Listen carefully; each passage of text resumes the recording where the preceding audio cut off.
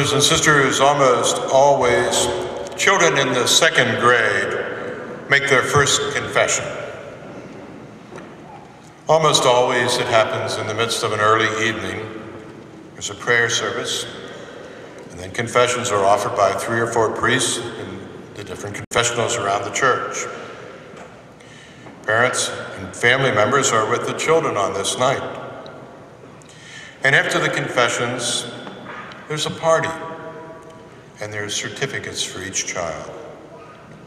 And very often, the scripture reading for this prayer service of first reconciliation is the gospel that we've just heard. I think we choose this passage to some extent because Zacchaeus was a little guy, but also because many children like to climb trees, but even more so because Jesus saw just how good Zacchaeus could be. And Jesus wanted to forgive Zacchaeus for being a traitorous tax collector, and Jesus wanted to be close to Zacchaeus just as Jesus wants to forgive our children Jesus wants to be close to them. Well, now let's take an adult look at this passage. What will you do to see Jesus? And of course, I ask myself that question too. What do we do to encounter Jesus? What will you do to see the face of Jesus? What will you do to translate Jesus from a dogma you better not disbelieve in to a person who's at your side? Perhaps a starting point is to trust faith, which is uncomplicated, unsophisticated, and childlike. Really, none of us as big as we as we'd like to be or as grown up as we'd like to think we are. And Jesus loves us like a big brother or an uncle or a grandparent. Jesus wants us to be with him just as he desired to visit with Zacchaeus. We need to receive the Lord with the simple and basic faith of a child. We need to not necessarily have the answer to all the divine mysteries. It's good to just be content to let the mysteries reveal themselves. Zacchaeus climbed a tree. He did not worry about how it would appear. He took the risk of falling. He went to a great effort to see Jesus. Many of us do something like that. We make a great effort. We make pilgrimages to holy places in order to encounter Jesus.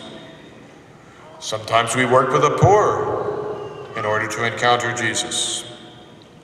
We go on retreats, we take classes, we read books which are so scholarly that they make climbing a tree look easy. We develop a daily rhythm of prayer. We go to confession and Mass and adoration, all so that we can see Jesus, all so that we can encounter and be encountered by Jesus. Climbing a tree can be risky, and faith is risky. We realize, some might say, we're wasting our time being a person of faith. We take the risk that it might all be for nothing. But that's what faith is. It's a calculated risk that brings us closer to Jesus, brings us closer to God, brings us closer to the Holy Spirit deep down inside of us. If we only seek to encounter Jesus in ways that we're guaranteed of no change or no challenge, and us being in control of the situation, well then, then we'll never encounter Jesus. We'll simply encounter our image of Jesus made to our own specifications. And Zacchaeus was obviously a tax collector. He's one who collected taxes from his own people. He was not too well regarded by his own people, probably despised and seen as one who had sold out to the oppressive government. But he still knew that he was worthy of Jesus, and he sensed that Jesus had a place in his heart for him. We are able to encounter Jesus when we have confidence that Jesus desires to encounter us. Zacchaeus also trusted that his desire to change his life and to give generously to the poor would be a doorway to his encounter with Jesus.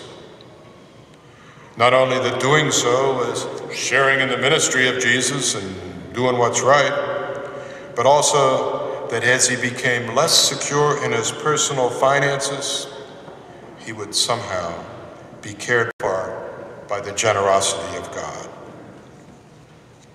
And so, brothers and sisters, Zacchaeus is a model for us.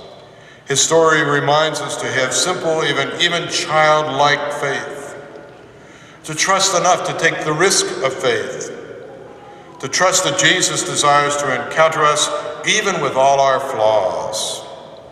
And so we come to Jesus in the midst of a commitment to change our lives, and we allow the Lord to change us even further.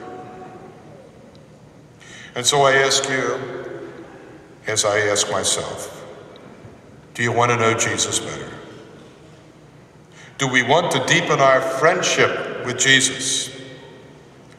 Are we willing to climb the trees, metaphorical as they might be?